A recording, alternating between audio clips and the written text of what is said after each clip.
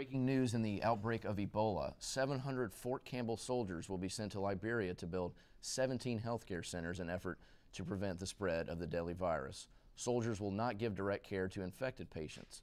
The Pentagon plans to send a total of 1,400 U.S. troops into West Africa this fall. CDC Director Tom Frieden wants to put people's fears to rest. Frieden says the disease does not spread casually and it does not spread from someone who's not sick.